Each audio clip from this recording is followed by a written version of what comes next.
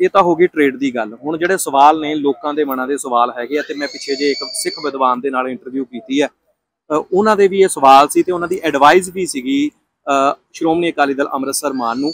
ਇੱਕ ਤਾਂ ਇਹ ਕਿ ਮਾਨ ਸਾਹਿਬ ਜਿੱਦਾਂ ਬਜ਼ੁਰਗ ਨੇ, ਆਪਾਂ ਇਹ ਕਹਿ ਲਈਏ, ਸਾਡੇ ਵੱਲੋਂ ਤਾਂ ਸਾਡੀਆਂ ਤੇ ਦੁਆਵਾਂ ਨੇ ਕਿ 100 ਸਾਲ ਜੀਣ ਕਿਉਂਕਿ ਕੌਮ ਦਾ ਭਲਾ ਹੋਵੇ ਉਹਦੇ ਨਾਲ। ਤੇ ਅਸੀਂ ਤੇ ਚਾਹੁੰਦੇ ਚੜ੍ਹਦੀ ਕਲਾ ਦੇ ਵਿੱਚ ਰਹਿਣ। ਪਰ ਅੱਗੋਂ ਕਿਹੜੇ ਚਿਹਰੇ ਨੇ ਜਿਹੜੀ ਤੁਹਾਡੀ ਪਾਰਟੀ ਜਿਹੜੀ ਅੱਗੇ ਲੈ ਕੇ ਆਊਗੀ? ਕਿਉਂਕਿ ਜਿਹੜੇ ਉਮੀਦ ਦੇ ਨਾਲ ਹੀ ਇੱਕ ਪਾਰਟੀ ਜਿਹੜੀ ਚੱਲਦੀ ਹੈ। ਸੋ ਕਿਸੇ ਨੇ ਇਸ ਕਰਕੇ ਵੋਟਾਂ ਤਾਂ ਪਾਈਆਂ ਨਹੀਂ ਕਿ ਇੱਥੇ ਇਨਫ ਹੋ ਜਾਵੇ। ਸੋ ਇਹ ਪਾਰਟੀ ਅੱਗੇ ਚੱਲੂਗੀ। ਕਿਹੜੇ ਐਸੇ ਚਿਹਰੇ ਨੇ ਜਿਹੜੇ ਵਿਚਰਨਗੇ ਆਉਣ ਵਾਲੇ ਸਮੇਂ 'ਚ?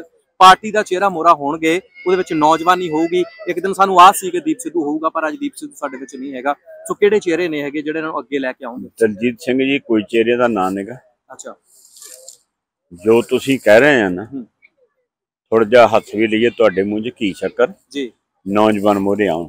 ਹਾਂ ਬਿਲਕੁਲ। ਔਰ ਤੁਸੀਂ ਦੇਖਿਆ ਹੋਗਾ ਕਿ ਵਿਧਾਨ ਸਭਾ ਦੀਆਂ ਇਲੈਕਸ਼ਨਾਂ ਦੇ ਵਿੱਚ ਮੈਜੋਰਿਟੀ। ਇਦਾਂ ਕਰੋ ਕਿ ਵੀ 80 85% ਜਿਹੜੇ ਚਿਹਰੇ ਨੌਜਵਾਨ ਸੀ। ਠੀਕ ਹੈ। ਇਹ ਉਹੋ ਹੀ ਆ ਨੌਜਵਾਨ ਹੋਣਗੇ। ਪਰ ਦੂਸਰੀ ਚੀਜ਼ ਆ ਐਜ਼ ਕੀ ਮਾਨ ਸਾਹਿਬ ਖੜਨ ਲਈ ਰਾਜੀ ਨਹੀਂ ਸੀ। ਮੈਨੂੰ ਪਤਾ ਇੰਟਰਨਲ ਅੱਛਾ ਜੀ। ਮੇਰੀ ਵੀ ਜ਼ਿੰਮੇਵਾਰੀ ਇਹ ਚ ਲੱਗੀ ਸੀ ਵੀ ਮੈਂ ਗੱਲ ਕਰਾਂ ਕੋਈ। ਠੀਕ ਹੈ। ਪਰ ਇਸ ਵੇਲੇ ਪਾਰਟੀ ਦੇ ਕੋਲ ਇੱਕ ਤਾਂ ਬਹੁਤ ਭੈੜੀ ਚੀਜ਼ ਇਹ ਕਰ ਰਹੇ ਸੀਗੇ ਜੀ। ਜਿਹੜੇ ਇਹ ਸੁਖਵੀਰ ਹੁਣੀ ਵੀ ਸੀ। ਜੀ। ਦੂਸਰੀ ਗੱਲ ਸੀ ਕਿ ਪਾਰਟੀ ਦੇ ਕੋਲ ਇਹੋ ਜਿਹਾ ਇਸ ਵੇਲੇ ਚਿਹਰਾ ਮੋਹਰਾ ਨਹੀਂ ਸੀ ਜਿਹੜਾ ਬੱਬਰ ਸ਼ੇਰ ਬਣ ਕੇ ਗਰਜ ਸਕਦਾ। ਬਿਲਕੁਲ? ਇਹੀ ਸਵਾਲ ਹੈ। ਵਿਦਵਾਨ ਤਾਂ ਬਹੁਤ ਨੇ ਆਪਣੇ ਕੋਲ। ਪ੍ਰੋਫੈਸਰ ਮਹਿੰਦਰਪਾਲ ਹੋ ਗਏ ਜੇ ਯੂਕੇ ਤੋਂ ਗੱਲ ਕਰੀਏ ਤਾਂ ਤੁਸੀਂ ਵੀ ਇੱਥੇ ਸਾਂਭ ਰਹੇ ਹੋ। ਪਰ ਗਰਾਊਂਡ ਲੈਵਲ ਦੇ ਉੱਤੇ ਜਾ ਗਰਾਊਂਡ ਕੇ ਲੈਵਲ ਤੇ ਗਾਹਾਂ ਐਸੇ ਟਾਈਮ ਤੇ ਜਿਹੜੀ ਚੁਣੌਤੀਆਂ ਦੀ ਤੁਸੀਂ ਗੱਲ ਕੀਤੀ ਮੈਂ। ਇਹ ਕਿਦੀ ਵੀ ਪਾਰਟੀ ਨੂੰ ਇੰਟਰਨੈਸ਼ਨਲ ਤੌਰ ਤੇ ਕਿਦਾਂ ਤਕੜੇ ਕਰਨਾ? ਜੀ। ਉੱਥੇ ਜਿਹੜੇ 24 ਦੇ ਕੈਂਡੀਡੇਟ ਆਉਣੇ ਆ ਨਾ ਜੀ। ਉਹ ਹੁਣ ਤੋਂ ਹੀ ਤਿਆਰ ਹੋਣੇ ਚਾਹੀਦੇ ਆਪਦੇ. ਹਲਕੇ 'ਚ ਉਹ ਕੰਮ ਕਰਨ। ਪਰ ਉਹਨਾਂ ਕੈਂਡੀਡੇਟਾਂ ਨੂੰ ਵੀ ਇਹ ਨਹੀਂ ਹੋਣਾ ਚਾਹੀਦਾ ਅਸੀਂ ਇੱਥੇ ਐਮਪੀ ਬਣਨਾ।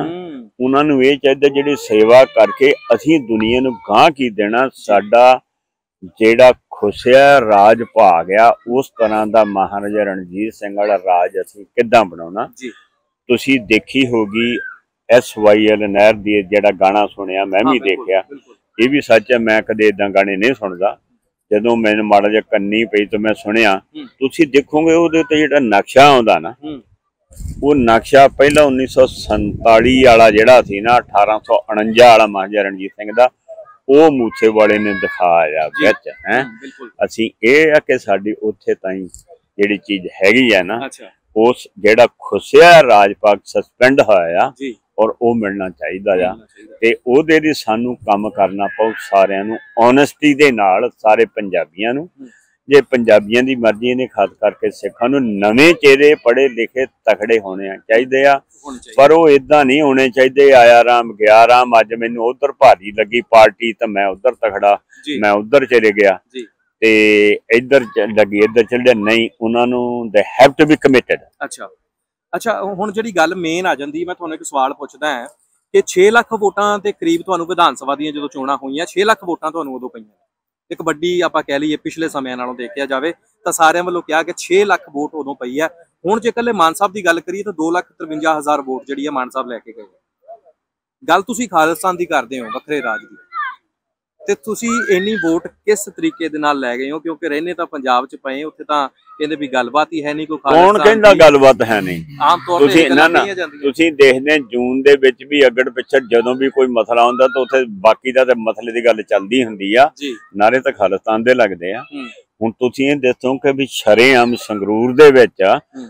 2 ਲੱਖ 53 ਹਜ਼ਾਰ ਤਾਂ ਖਾਲਿਸਤਾਨੀ ਹੂੰ। ਜਿਹੜੇ ਵਾਲੇ ਕਹਿੰਦੇ ਜੀ 2.5 ਟੋਟ ਰੂਗਾ। ਮਤਲਬ ਉਹ ਜਿਹੜੇ 253000 ਉਹ ਜਿਹੜੇ 2.5 ਟੋਟ ਰੂ ਕਹਿੰਦੇ ਆ, ਉਹ 2.5 ਲੱਖ ਆ। ਹੂੰ।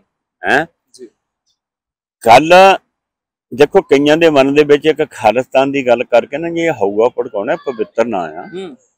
ਔਰ ਜੇਕਰ ਕਿਸੇ ਦੇ ਰਾਜ ਦਾ ਹੁਣ ਤੇਰਾ ਆਪਣਾ ਘਰ ਹੈ ਤਾਂ ਆਪਦੇ ਘਰ ਦੇ ਬਾਹਰ ਜਦੋਂ ਮਰਜ਼ੀ ਰਜਿਸਟ੍ਰੇਸ਼ਨ ਕਰ ਲੈਣੇ ਨਾ ਉਹਦਾ ਪਲੇਟ ਹੀ ਲਾ ਲਾ। ਜੋ ਮਰ ਬਾਲਿਆਂ ਨੇ ਲਈਆਂ ਨਾ। ਜੀ। ਪਰ ਦੂਸਰੀ ਚੀਜ਼ ਹੈ ਕਿ ਵੀ ਉਹ ਇੱਕ ਇੱਕ ਉਹ ਹਊਆ ਨਹੀਂ ਉਹ ਸਰਵਤਰੇ ਭਲੇ ਦੀ ਗੱਲ ਆ ਬਾਬੇ ਨਾਨਕ ਦੇ ਤੇ ਚੀਜ਼ ਦੀ ਹੈਗੀ ਆ। ਔਰ ਇਹ ਗੱਲ ਜੋ ਮਹਾਰਾਜਾ ਰਣਜੀਤ ਸਿੰਘ ਦੇ ਰਾਜ ਦੇ ਵਿੱਚ ਗੱਲ ਹੋਈ ਸੀ ਉੱਥੇ ਤੇ ਕਿਸੇ ਨਾਲ ਨਹੀਂ ਸੀ ਹੋਈ। ਖਾਲਸ ਸਤਾਨ। ਇਹ ਕੋਈ ਹਊਆ ਨਹੀਂ ਇੱਕ ਖਾਲਸ ਪਿਓਰਿਟੀ ਕਹ ਲਈਏ ਸ਼ੁੱਧ ਚੀਜ਼ ਆ। ਉਹ ਅਸਥਾਨ ਆ। ਔਰ ਉਸ ਸਥਾਨ ਦੇ ਵਿੱਚ ਸਾਰਿਆਂ ਦਾ ਭਲਾ ਹੋਊਗਾ ਸਾਰਿਆਂ ਦੀ ਵਧੀਆ ਗੱਲ ਹੋਊਗੀ। ਜੀ। ਉਹਦੇ ਵਿੱਚ ਜਿਹੜਾ ਇਹਨੇ ਉਹ ਦੇਖੋ ਆਪਣੇ ਗੁਰਬਾਣੀ 'ਚ ਵੀ ਹੋਣਾ ਅੱਬਲ ਅੱਲਾ ਨੂਰ ਪਾਇਆ ਕੁਦਰਤ ਦੇ ਕਾਥਾ ਬੰਦੇ ਕੋ ਭਲੇ ਕੋ ਮੰਦੇ ਤੇ ਇਸ ਚੀਜ਼ ਦੇ ਵਿੱਚ ਹੋਊਗਾ ਕਦੇ ਕਦੇ ਵੀ ਕਿਸੇ ਨੇ ਹੁਣ ਤੁਸੀਂ ਇੱਥੇ ਵੀ ਦੇਖ ਲਓ। ਜੀ। ਮੈਂ ਆਪਦੇ ਲਈ ਤਾਂ ਨਹੀਂ ਕਹਿੰਦਾ ਜਿਹੜੇ ਮੈਂ ਹੋਰਨਾਂ ਦੇ ਵੀ ਕਰਦਾ।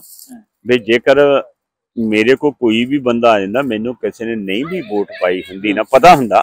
ਬਿਲਕੁਲ ਬਿਲਕੁਲ। ਈਵਨ ਜਿਹੜੇ ਕੈਂਡੀਡੇਟ ਵੀ ਇੱਥੇ ਲੋਕਲ ਮੇਰੇ ਅਗੇਂਸਟ ਖੜੇ ਹੁੰਦੇ ਜਿੱਦਣ ਉਹਨਾਂ ਦਾ ਵੈਲ ਨੋਨ ਆ ਤੇ ਜਦੋਂ ਉਹਨਾਂ ਦਾ ਕੋਈ ਇਸ਼ੂ ਹੁੰਦਾ ਕੰਮ ਮੇਰੇ ਕੋ ਦੱਸਦੇ ਆ ਸਪੋਰਟ them ਅੱਛਾ। ਕੋ ਦਿਸ ਇਜ਼ ਦੀ ਪਿਓਰਿਟੀ ਕਿ ਤੁਸੀਂ ਕਰਾਂਗੇ ਔਰ ਇਹੋ ਜੀ ਸਾਡੀ ਪਾਰਟੀ ਪੰਜਾਬ 'ਚ ਵੀ ਕਰੂਗੀ। ਇਹੋ ਜੀ ਹੁਣ ਮਾਨ ਸਾਹਿਬ ਜਿੱਤੇ ਇਹੋ ਜੀ ਮਾਨ ਸਾਹਿਬ ਕਰਕੇ ਦਿਖਾਣਗੇ ਹੂੰ। ਕਿ ਜਿਨ੍ਹਾਂ ਨੇ ਵਿਰੋਧਤਾ ਵੀ ਕੀਤੀ ਆ ਨਾ।